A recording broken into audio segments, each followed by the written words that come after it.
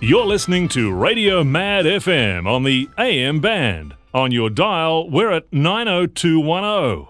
We play more of the greatest ads and less of your favourite music.